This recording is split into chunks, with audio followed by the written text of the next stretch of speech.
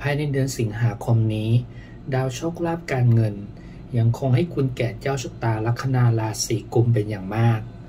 มีทั้งดาวพฤหัสที่ได้ตำแหน่งราชาโชค ร่วมเรือนอยู่กับดาวราหูที่ได้ตำแหน่งเทวีโชค เจ้าชะตาเตรียมรับทรัพย์รับโชคก้อนใหญ่ หวังสิ่งใดจะได้สมดังหวังไว้แต่ในเดือนนี้เจ้าชะตาจะต้องระมัดระวังการมีปัญหากับคู่ครองคนรัก คู่หุ้นส่วน คู่ค้า หรือมีปัญหากับเพศตรงข้ามขึ้นได้ แต่ก็ถือว่าดวงของชาวลัคนาราศีกุมภายในเดือนสิงหาคมนี้ จัดว่าดีมากครับ โดยเฉพาะเรื่องโชคลาภการเงิน จะโดดเด่นเป็นอย่างมาก จะมีโอกาสจะได้เงินได้โชค จากการติดต่อกับคนหมู่มาก จากคอนเน็ชันจากโลกโซเชียลมีเดียถึงแม้ว่าจะมีปัญหาในเรื่องคู่ครองคนรัก และปัญหาเกี่ยวกับงานก็ตาม รายละเอียดแบบเจาะลึกจะเป็นอย่างไร เดี๋ยวเรามารับฟังคำทำนายกันโดยละเอียด ทั้งในเรื่องโชคลาภการเงิน การงาน คู่ครองคนรัก และวิธีการเสริมดวงให้ปังสำหรับชาวลัคนาราศีกุม ภายในเดือนสิงหาคมนี้ต้องทำอย่างไร ก่อนเข้าไปรับฟังคำทำนาย ฝากกดไลค์ กดแชร์ กดติดตาม เพื่อเป็นกำลังใจให้กับชาวโรงงานดวงกันด้วยนะครับ เรามาเริ่มต้นกันที่เรื่องโชคลาภการเงิน ของชาวลัคนาราศีกุมกันก่อนเลยครับ ดาวโชคลาภการเงินคือดาวพฤหัส ดาวพฤหัสยังคงสถิตอยู่ในภพสหัชชะ หรือที่เรียกว่าพบเพื่อนการติดต่อการเข้าสังคม Connection Social Media ได้ตำแหน่งอันเป็นมหามงคลแก่เจ้าชะตานั่นคือราชาโชคและอุดมเกณฑ์ภายในเดือนสิงหาคมนี้ทั้งเดือน เจ้าชะตา เตรียมรับทรัพย์รับโชคลาภจากงานที่ต้องติดต่อกับคนหมู่มาก จากเพื่อนจากโซเชียลมีเดียแต่ก็ต้องระวังเกี่ยวกับเรื่องรายจ่ายอยู่บ้าง เพราะผลกระทบจากดาวราหู ที่สถิตร่วมเรือนอยู่กับดาวพฤหัสนั่นเอง สรุปโดยรวมแล้ว เรื่องโชคลาภการเงินของเจ้าชะตานั้น ถือว่าดีมากๆ จัดเป็นอันดับต้นๆของทั้ง 12 ลัคนาราศีเลยก็ว่าได้ครับ และไม่ใช่จะดีแค่เฉพาะภายในเดือนสิงหาคมนี้เท่านั้น แต่จะดีไปเป็นเวลาเกือบหนึ่งปีเลยทีเดียว ถัดจากเรื่องโชคลาภการเงินแล้ว เรามาดูกันต่อที่เรื่องการงานของเจ้าชะตาลัคนาราศีกุม ดาวการงานคือดาวอังคาร ในช่วงครึ่งเดือนแรกของเดือนสิงหาคม ดาวการงานจะยังคงสถิตอยู่ในภพปัตตนิ เรื่องการงานของเจ้าชะตาลัคนาราศีกุมในช่วงนี้ จะต้องระมัดระวังเป็นพิเศษ เจ้าชะตาจะต้องระวังการมีปัญหาขัดแย้งไม่ลงรอยกัน หรือเกิดการวิวาทะกับคู่ส่วนหรือคู่ค้าได้ ทั้งนี้เกิดจากการที่ดาวการงานของเจ้าชะตาสถิตร่วมเรือนอยู่กับดาวพุธ และดาวเจ้าเรือนปัตตนินั้นคือดาวอาทิตย์ ดาวอังคารและดาวอาทิตย์เป็นดาวคู่ขัดแย้ง ส่วนดาวอังคารและดาวพุธนั้นเป็นดาวคู่วิวาทะ อีกทั้งยังทำมุมเล็งกับดาวเสาร์ในภพเจ้าเรือน การที่วินาศเล็งดาวการงานของเจ้าชะตานั้น จะส่งผลให้เกิดปัญหาต่างๆ เข้ามามีผลกระทบกับเรื่องงานได้ แต่ก็ยังถือว่าโชคดีอยู่ ที่มีดาวศุกร์ร่วมเรือนอยู่กับดาวอังคารอยู่ด้วย ดาวอังคารและดาวศุกร์เป็นดาวคู่มิตรกัน ดาวศุกร์นั้นเป็นดาวเจ้าเรือนสุภะและเรือนพันธุ ส่งผลให้เจ้าชะตาจะมีผู้ใหญ่ หรือคนในครอบครัว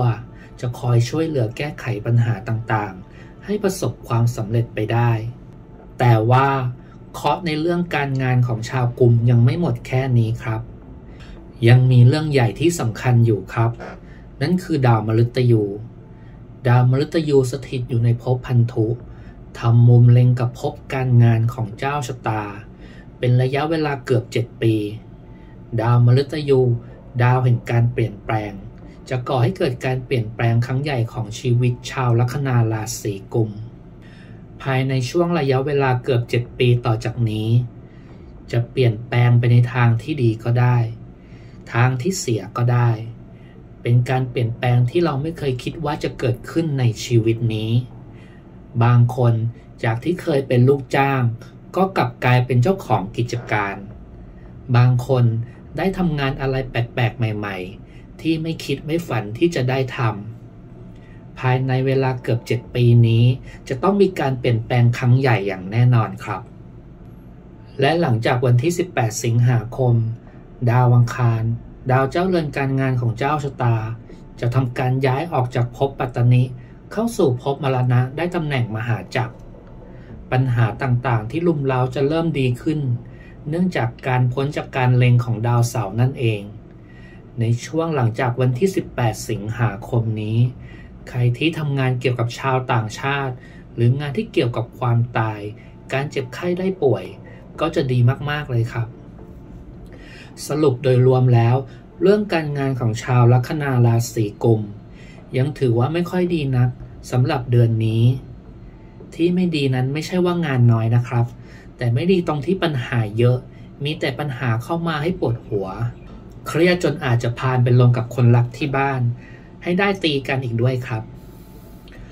ส่วนเรื่องคู่ครองคนรักของชาวลัคนาราศีกุมในเดือนสิงหาคมนี้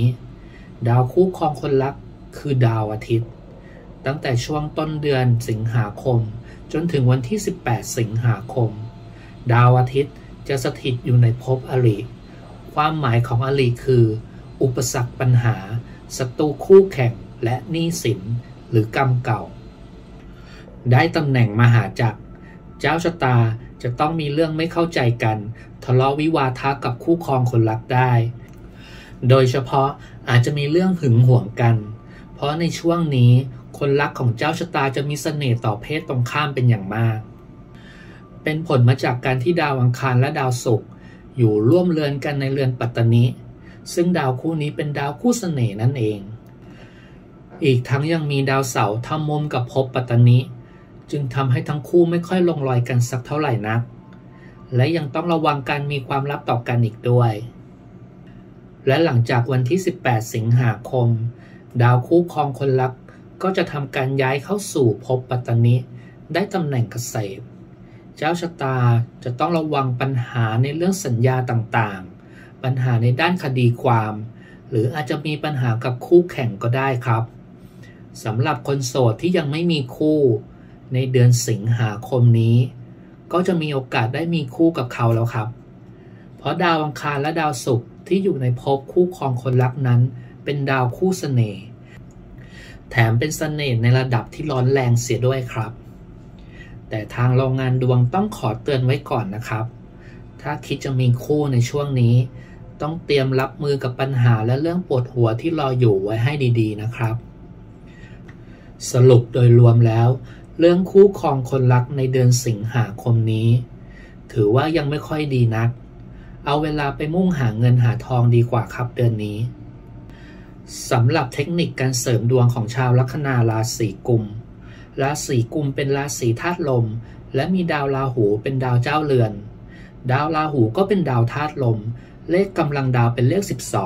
12 เทคนิคลับการเสริมดวงของคนที่เกิดลัคนาราศีกุม เจ้าชะตาจะต้องทำบุญถวายตาลปัดพัดลมแอร์ หรือร่วมทำบุญถวายสร้างประตูสร้างหน้าต่าง โดยจำนวนให้ลงท้ายด้วยเลข 12 ตามกำลังดาวของดาวราหู และควรหมั่นทำบุญบูชาพระพุทธรูปปางป่าเลไล พระราหู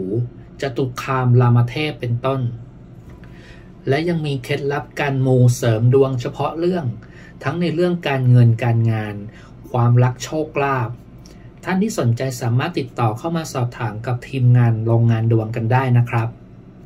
เป็นยังไงกันบ้างครับ สำหรับดวงที่โรงงานดวงของเราทำนายมานี้ พูดคุยกันได้นะครับ เราอ่านทุกคอมเมนต์อย่างแน่นอน ถ้าเพื่อนๆชอบคลิปนี้ ฝากกดไลค์ กดแชร์ ให้เพื่อนของคุณ และกดติดตาม เพื่อเป็นกำลังใจให้กับชาวโรงงานดวงกันด้วยนะครับสำหรับคลิปนี้ผิดพลาดประการใดต้องขออภัยด้วย แล้วพบกันใหม่ในดวงหน้า โรงงานดวงวันนี้ ขอสวัสดีครับ